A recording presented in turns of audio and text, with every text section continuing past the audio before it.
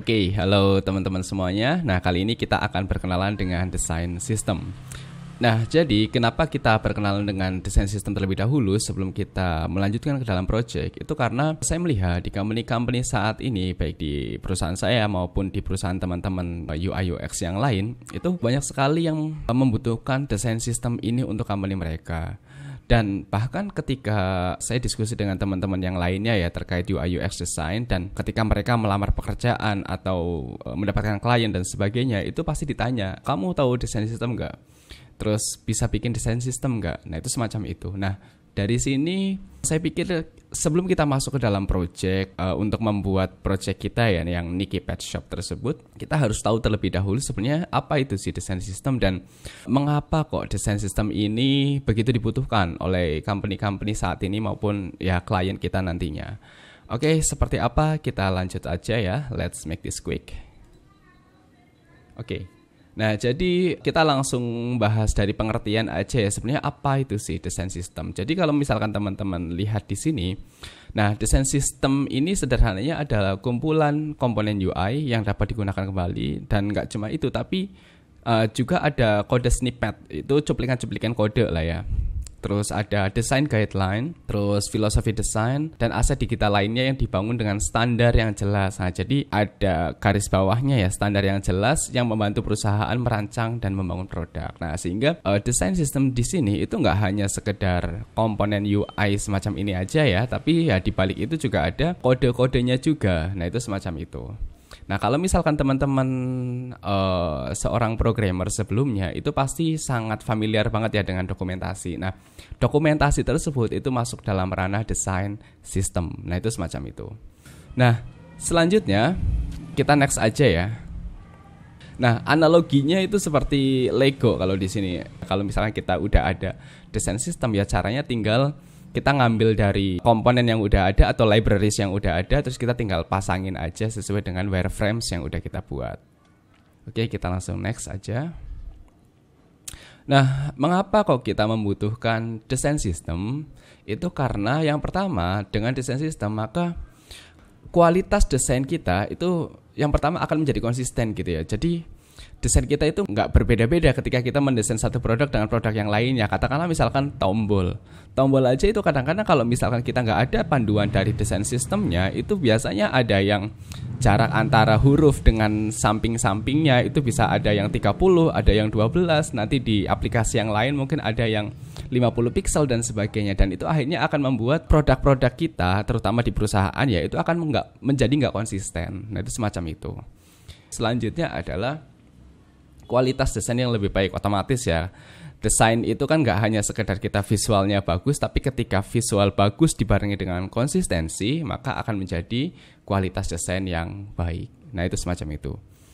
Nah selanjutnya adalah memudahkan komunikasi dengan developer. Ya dari pengalaman saya sendiri itu ketika berkolaborasi dengan developer itu akan sangat dimudahkan loh. Misalkan nih saya pernah tanya ya misalkan uh, Hai Angga ini saya nggak menemukan adanya tombol hover nih. Kira-kira kamu menaruh tombol hovernya di mana? Lah itu kayak gitu. Nah akhirnya gampang tinggal ditunjukin aja halo ini tombol hovernya ada di sini di bawah tombol-tombol yang lain. Tolong cek desain sistem yang sudah saya buat.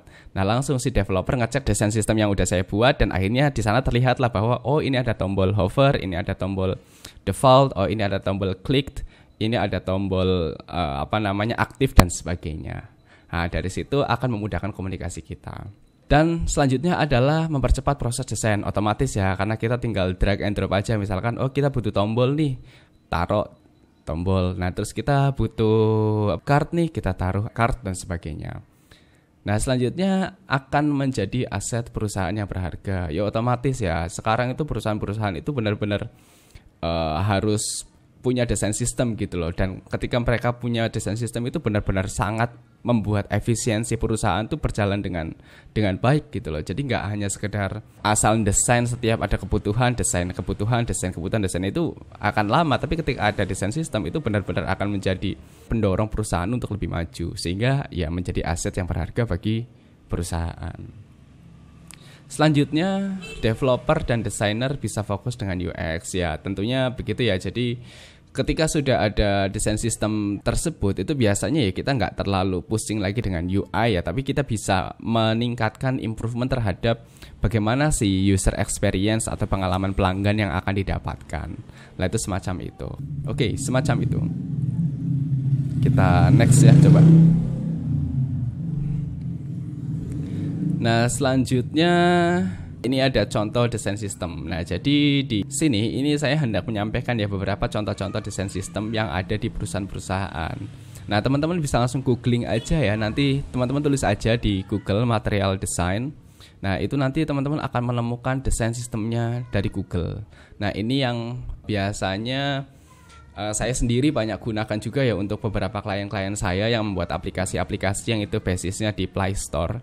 Nah, itu pasti saya banyak sekali menggunakan material desain ini untuk membuat desain aplikasi tersebut. Nah, sehingga secara user interface itu juga bisa kita otak-atik dan secara user experience itu biasanya udah bagus karena ya otomatis ya ketika Google yang membuat kan perusahaan sekelas Google pasti sudah melakukan riset yang sangat mendalam untuk menghasilkan desain sistem yang semacam tersebut yang semacam itu sehingga uh, saya sering menggunakan ini. Kalau untuk aplikasi-aplikasi yang uh, akan dipublish di Play Store. Nah, selanjutnya ada Atlassian Design System. Itu kalau misalkan teman-teman kenal Trello dan sebagainya Jira mungkin masuk ke situ juga. Dan teman-teman bisa mendapatkan Atlassian Design System ini untuk referensi desain sistemnya teman-teman yang mungkin pengen membuat desain sistem maka teman-teman bisa langsung cari aja di Figma. Namanya Atlassian Design System. Cari aja di Figma, nanti semua komponennya udah ada. Dan selanjutnya ada Polaris, Shopify Design System, terus Carbon itu milik IDM, dan Human Interface Guidelines itu milik Apple, dan ini juga cukup keren ya.